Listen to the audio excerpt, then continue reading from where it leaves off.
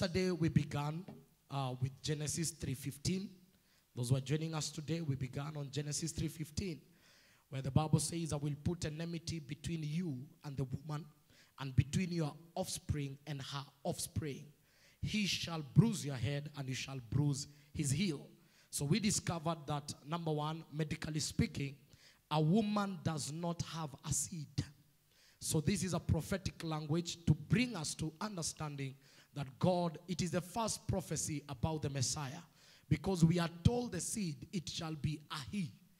And the Bible says, he shall, uh, he shall bruise, you shall bruise his heel, but he shall bruise your head.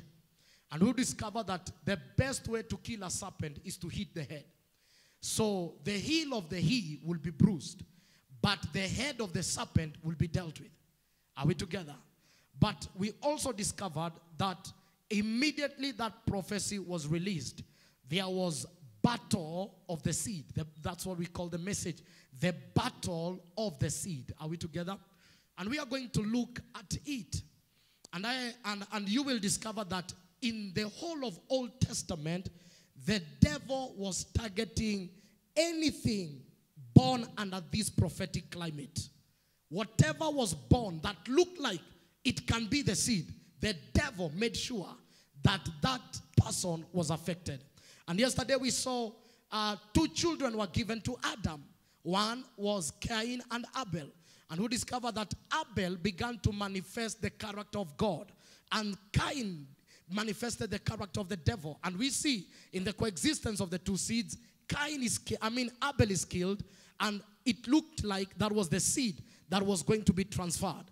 And after Cain dies, we discover that God didn't run out of option. He raises another seed by the name of Seth. And in the days of Seth, the Bible says men began to call upon the name of the Lord. In the days of Cain and Abel, men were offering to God. But in the days of Seth, they began to call upon the name of the Lord. And we saw the corruption that came in the world. The daughters of men began to sleep with the sons of God. And, and they gave birth to men of renown. And we say that Noah was righteous because he was a pure breed. He never interacted with the daughters of men, and so were his children. So God was willing to begin afresh. And we discover that in every generation, there will be temptation to mix the seed. But God will always preserve his seed. Are we together? And so now we have what they call the pre flood generation. That is the generation that existed before the flood. And we know the flood was both judgment and cleansing. God, for the first time, regretted to having created man. And so he uses water to cleanse the world. But he spares a man that is ready to begin with um, afresh. And that man is Noah. And I want us to look at a prophetic word that was released by Lamech in the book of Genesis 5 uh, 28. Because when you begin to read about Noah after the flood, you will discover that this very prophecy was fulfilled. Let's look at Genesis 5 28. Lamech lived 182 years and had a son. And he called his name Noah, saying, This one will comfort us concerning our work and the toil of our hands because of the ground which the Lord has cast. Are you seeing it? So, let, let me just tie it with the scripture so that you can, you, can, you can begin to understand what I'm talking about. Let's look at Genesis 9 from 20. Genesis 9 from 20. Welcome, Dad. Genesis 9 from 20. And Noah began to be a farmer and he planted a vineyard. Remember, the prophecy had everything to do with this particular seed is going to deal with the curse that was on the ground. In the whole of Genesis, we don't hear anyone doing farming. This is the first case of farming. Now, the curse was released on the ground, not on the man. And the ground was made to release thorns. But after God had jarred the world and cleansed the world with the water, when Noah planted a vineyard, there was a harvest. Are you getting it? There was a prophetic decree from his father. And he survived the floods because the Bible says Noah began to be a farmer and he planted a vineyard. Okay, let's look. Then he drank of the wine and was drunk and became uncovered in his tent. Now, that's where the problem began. Now, the man planted a vineyard, uh, and, and I was reading somewhere, and someone said, Beware of what you plant after great victory. It was after the floods that he planted the vineyard, and this is the first case of a drunkard man in the Bible. And the consequences are intensive. But when you begin to see it from the seed battle, you will understand. Are we together? Because now we see that Noah is preserved. And God is willing to begin another generation with Noah. But immediately after the floods, the devil has not stopped the war on the seed. So immediately after the flood, Noah drinks. Let's read the story so that we can understand what happens. And Ham, the father of Canaan, saw the nakedness of his father and told his two brothers outside. But Shem and Japheth took a garment, laid it on both their shoulders, and went backward and covered the nakedness of their father. Their faces were turned away, and they did not see their father's nakedness. So Noah awoke from his wine and knew what his younger son had done to him. Then he said, Cast be Canaan. Now, elimination method has begun. There is a seed that has to be preserved. And that seed must pass through generation until when the seed of the woman will appear to deal with the head of the serpent. Now, Noah gets drunk and curses his own child. Meaning that that child, that seed is eliminated in the agenda of heaven. Because God cannot partner with anything that is cursed. And Noah is an authority. So this man is taken out of the equation. And we are left with two sons. Let's look at it. And he said, Blessed be the Lord, the God of Shem, and may Canaan be his servant. May God enlarge Japheth, and may he dwell in the tents of Shem, and may Canaan be his servant. Now, Shem was the one that was blessed. So now we are coming from Noah and we are going to Shem. Are we together?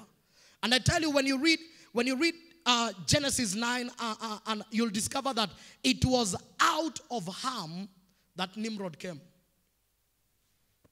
The cursed child. A rebellious people arose out of that particular seed. But I bless the Lord, irrespective of that, there was still Shem. Are we together? Irrespective of that, there was still a seed preserved so that the agenda of heaven can be fulfilled. And if I fast forward, it is out of Shem that we get Terah, the father of Abraham. Are we together? So now we can begin to see how the seed is being preserved. And I tell you, when you go to the genealogy in Matthew, you will see it fall in place. So out of Shem, now we have Terah.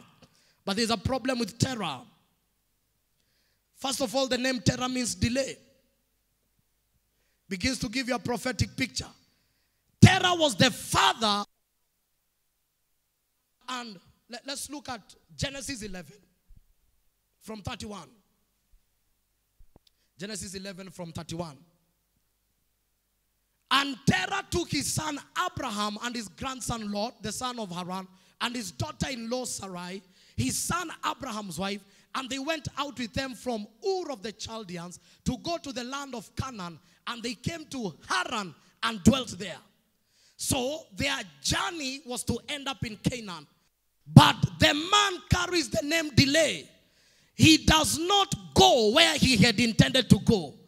And this journey was a prophetic journey. They were not just traveling, there was a reason why they were traveling. Because there was an assignment of the seed of Terah in Canaan. Are we together? Because later, after Terah died, God has to call Abraham and tell him to complete the journey. And he begins to bring a picture of there is a generation that has to rise and complete what the other generation never completed. So it is illegal to die where our fathers died. Are you getting it? There has to be an urgency. The father had an assignment to go to Canaan, but the man died in Haran. That was not the destiny. The destiny was meant to be in Canaan. But the man dwelt in Haran. I don't know why. We, we are not given any reason. But it brings to bring a prophetic picture that there has to be a people to pick up the journey and complete and enter where the fathers never entered. Hallelujah. I am happy because the father began the journey, but I'm also excited because Abraham finished the journey. And I want to speak prophetically where your father died, that shall not be a place of death. You must go farther than your fathers. Hallelujah. Whatever they achieved, you must achieve more because the grace upon your life is different. And so God has to wait for delay to die. So that now Abraham can continue with the journey. Are we together? The name Terah means delay. Now remember, this time they were not serving God, they were just serving strange gods. But because of the bloodline and the lineage where Abraham came from, there was a divine assignment for that particular seed. Hallelujah. And so it is in Genesis 12. It is in Genesis 12 from verse 1 where now we see God dealing with Abraham. This time it's called Abraham. Now the Lord had said to Abraham, Get out of your country, from your family, and from your father's house to a land that I will show you. Are we together? Get out of your country, out of your family, and out of your father's house. This is the journey of separation. When you read the Bible, you'll discover that Abraham was separated seven times. Seven is the number of divine completion. He was separated until he was completed to fulfill the assignment of heaven. The first separation was country because his assignment was not in Haran. His assignment was in Canaan. But then I came to discover every assignment and every anointing has a location. Sometimes you struggle not because you are not anointed, not because you don't know your purpose, but you are still in Haran. The grace is not in Haran, the grace is in Canaan. And so the first separation was from the country, the location where he was. Because assignment begins to attract location. Are we together? That's why anytime God wants to do something with a man, there has to be a reprogramming of schedule. The location of David had to change from looking after the sheep to going where God wanted him to go. The location of Moses had to change from palace to wilderness to back to palace to deal with the people. So anytime you begin to operate with the will of God, be ready for a change of schedule and programs. Hallelujah. Now, the first separation was from the country. The second one was from the family, the relatives. And there, there's a big picture here, even when we begin to look at our own lives. Every child of destiny must be separated from their country. The ideologies of Kenya, the tribal nature, the corruption nature, we must be separated from that thinking and begin to think as a child of heaven. Are we getting it? Because every country has its own culture and way of operation. So God is saying, I'm separating you from this country because there is an assignment. That's why the Bible says, though we are in the world, we are not of the world. We, we are from another kingdom. So we, we need to understand we are Christians first before we become Kenyans. We are Christians first before we become our tribe. Are we together? Then there was the issue of family, the issue of relatives. And personally, I believe this has to do with cultural settings, the traditions of our people. Whatever people call the my people ideology, we have to be separated. And then there was the separation from father's house. This one tells me it is a separation from anything that limited his father. Family curses, family diseases, family patterns, separated from them. Are we getting the picture? Because these things were written for us. The separation does not end here. There was drought and they ran to Egypt. And they were separated from Egypt. That is separation number four. They were separated from Egypt. What is the picture of Egypt? Is the place we run to when the wilderness is too intensive. When God called me, I decided to go and do my master's. And in my second semester, there was no school fees, but there was money for ministry. That was my Egypt. and he asked me, Who shall employ you? And I've employed you. So there are places we run to, though we know the voice of God. Are you getting it? And when he was in Egypt, he survived with lies. Whether you call them partial lies, a lie is a lie. There is no degree of lie. Because he said, This is not my wife, this is my sister. It is true. Sarah was the sister, but they never went there as brother and sister. They went as a couple. So Sarah was the wife. Are you getting it? Out of Egypt, number five, he was separated from Lot. These are spiritual friends that are not ready to pay spiritual prices. A Lot is not a backslider. He's a man that comes to church. But these are the people who tell you we are together in the spirit. You go in the cash and pray for me. That's a lot. And there are people who know what you carry, and they know when they hang out around you, the grace upon your life is going to benefit them. You have enough networks, you have enough grace, and so they have to hang around. So, separation number five is Lot. Lot was not a spiritual man, he was a carnal Christian. We know that by the time they were told to, to select, he chose the mountain places, the place of plenty.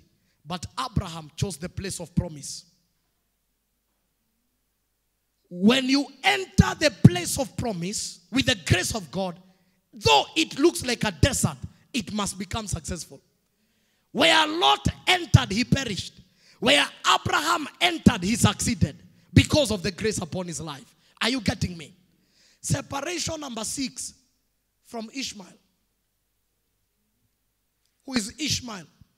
Whatever is not in the will of God. There are many man made miracles, many man made doors, many man made opportunities. We try to drag God in it, but we know He's not there. Ishmael must go. Hallelujah. You know, we live in a generation of sponsors.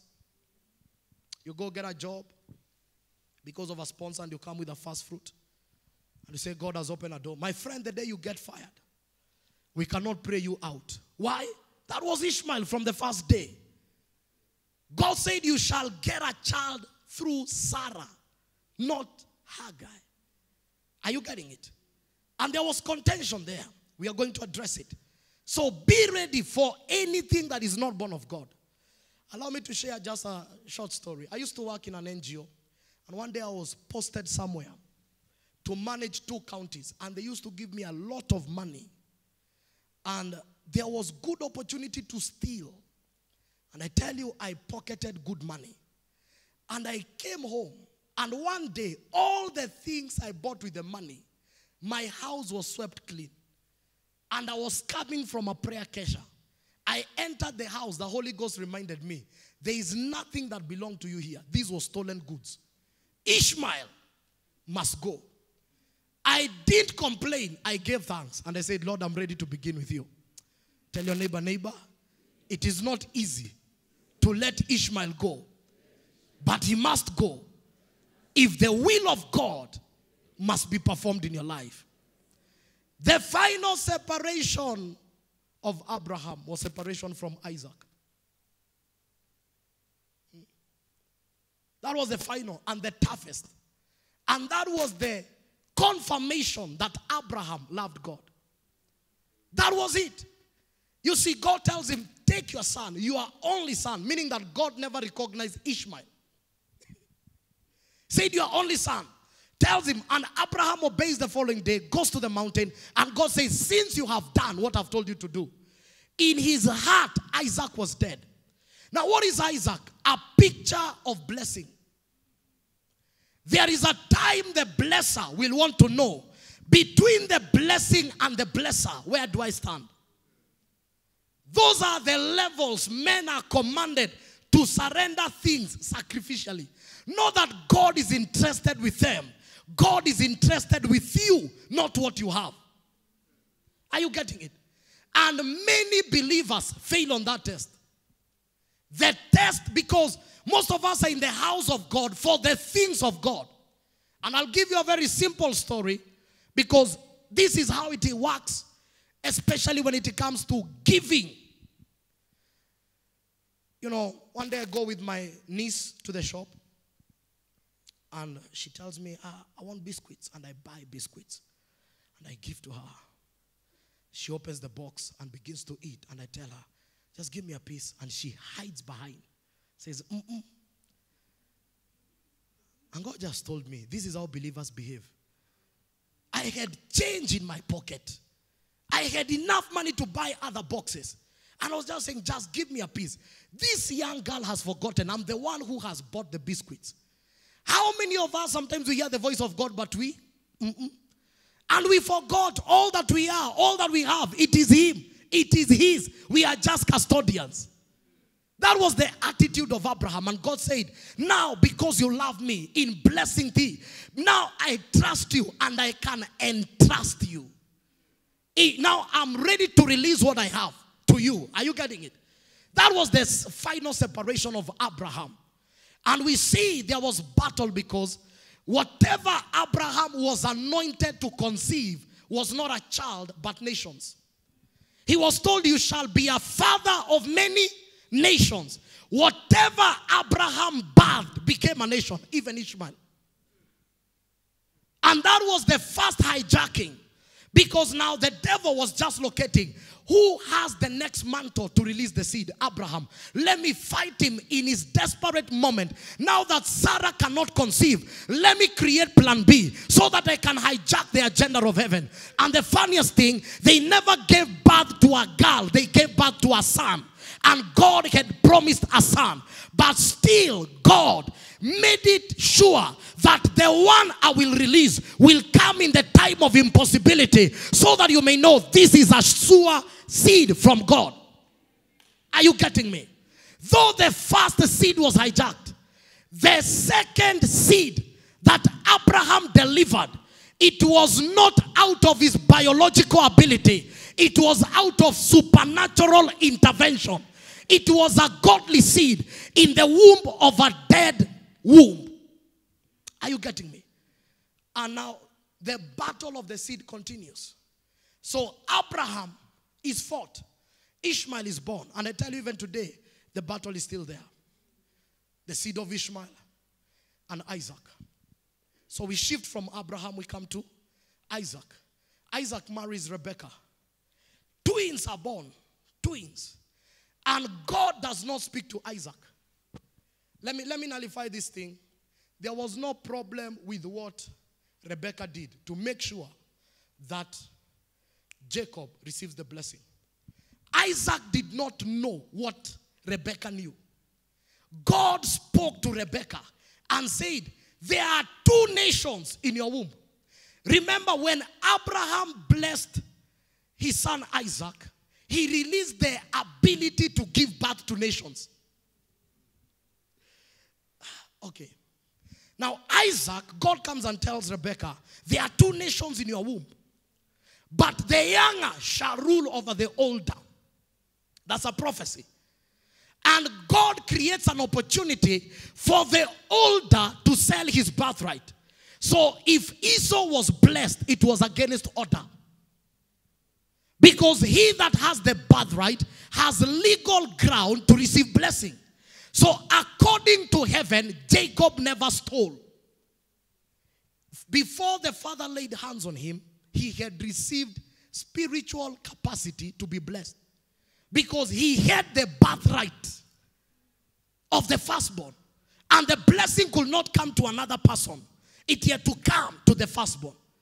Are we together and the lord saw in the future the seed of jacob and the seed of esau the bible says the young will rule the older but there was contention i want you to listen to me carefully there was contention. You go through Bible, you will discover Herod was an Edomite. And Edom came from Esau. Jesus came from Jacob. When Jesus was born, there was the historical battle of Esau and Jacob because Herod wanted to meet Jesus, not to negotiate, but to see who is this who is coming to rule over the older. It was prophecy playing out. Are you getting it? Because God knows the end from the beginning. And this battle continued. And the truth is, the younger ruled, not just in this story, but he ruled even in the future over the older. Are we together? Are we together? Are you locating the seed now? Are you seeing the battles of the seed? Now, Esau begins to pursue Jacob. Okay? And Jacob is running away from Esau. And I discovered sometimes we are running away according to ourselves, we are running away, but according to God, we are running to. The reality is you are running from Esau, but you are running to Laban. Because in you is the blessing of nations. And in the atmosphere of Esau, you cannot deliver nations.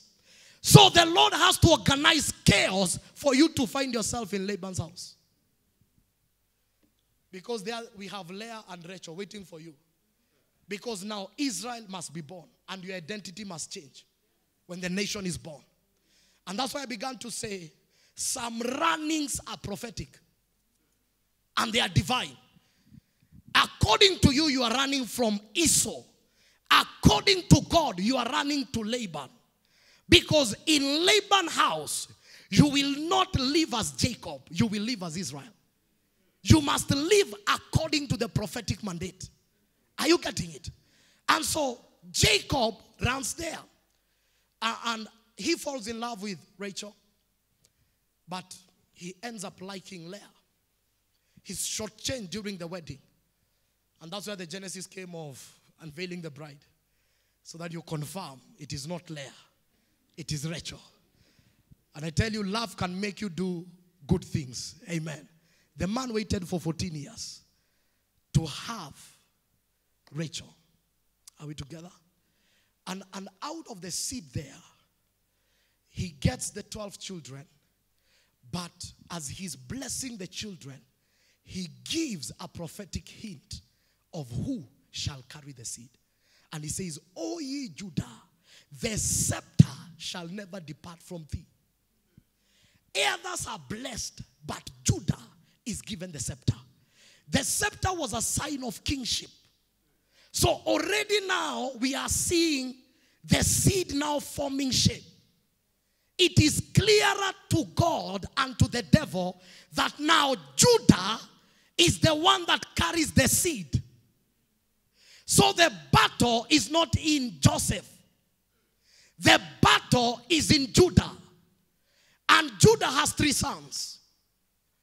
And Judah messes up with daughter in law, sleeps with her. This is a very serious level because by the time he slept with the daughter in law, according to the law, that seed could not enter the assembly of the Lord. I believe it has to be in Numbers 23 too. Let's look. Not Numbers, Exodus. Exodus. No, is it Exodus or Deuteronomy? Let me confirm.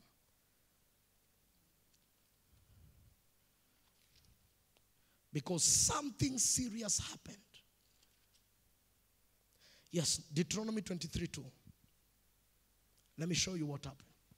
It's a serious thing. One of illegitimate birth shall not enter the assembly of the Lord, even to the tenth generation. None of his descendants shall enter the assembly of the Lord. Now, what does this mean? Anyone born in, in an illegitimate way could not enter the assembly of the Lord, neither do anything. Now, Judah sleeps with Tamar. The child that is born, or the children that are born, none of them can carry the seed. There is now serious disorder, and we must wait for 10 generations. The template is messed up. Hello. I'm trying to show you a historical battle. Are you getting it? And Pastor Mark, I began to understand. When David slept with Bathsheba, they got a child. God killed the child. David was fasting for the child. And I, I never understood until I came here. That seed was illegitimate. Again, we would have waited for 10 generations before something comes that could take place from David. It was this pattern of Judah that began to represent itself in. Okay, we shall look at that tomorrow. Because it's heavy when you begin to understand. For 10 generations, the devil had struck the one that carries the seed. 10 generation is not a short time. A generation is between 40 to 50 years. We are talking about for 500 years, the agenda of the seed has been suspended. And, and this is where now the Bible takes another dimension. If you ask me, the book of Judges was a book to buy time so that 10 generation can pass. That is why when Saul is anointed king, what does he begin by saying? But I'm a Benjamite. It was not self esteem, it was prophetic accuracy. I don't come from the tribe of Judah, I come from Benjamin. The prophecy says the scepter shall not depart from Judah. And Samuel anoints him with a flask anointing to tell him, dude, you are temporal before David rises because David is the 10th in that lineage after Judah. He's there, he's the 10th. Can we prove it? Let's go to the genealogy in Matthew. You'll begin to see it. Now, genealogies are making sense. Amen. And I like genealogies because it's a language of fathers. There is no mother there. So and so begat and fathered. So and so begat. So it is fathers who begat and father. The book of the genealogy of Jesus Christ, the son of David, the son of Abraham. But they, one of the assignment I'll give you, go and read the genealogy of Luke. Because Luke begins from Abraham. And he does not mention Cain and Abel, he mentions Seth. And he begins from down going up. But Matthew, Matthew is a Jewish writer and he wants to confirm something. And before the end of the week, I'll show you a very historical Jewish argument. And that's where they stand to say Jesus is not the Messiah. And if you can answer that question, we can begin to evangelize to the Jews. The question of Jeconiah. Uh-huh. Abraham begot, uh, continue. I, yes, Judah begot Perez. Are we together? I tell you, when we begin from Judah to David, you'll find that there are 10 generations. So Judah begot Perez 1, uh, Perez begot Hezron 2, Hezron begot Ram 3, uh-huh. Ram begot Amminadab 4, Amminadab begot Nahshon 5, begot Salmon 6, uh-huh. Salmon begot Boaz 7, Boaz begot Obed 8, Obed begot Jesse 9, Jesse begot David 10 until the 10th generation. All these begatting were buying time. David was the man we were waiting for. For the seed now to begin to propagate as it was prophesied. Hallelujah. And I want to assure you, the devil has never won in any battle. He has never won. He may interrupt a few things, but at the end of the day, the agenda of God must come to pass. Because when you begin to read this one, there is a place where God confused the devil. Because Salmon married Rahab, the prostitute. So the devil knew here God is not in the agenda. I've messed up. What he did not know, Ruth again was not even an Israelite.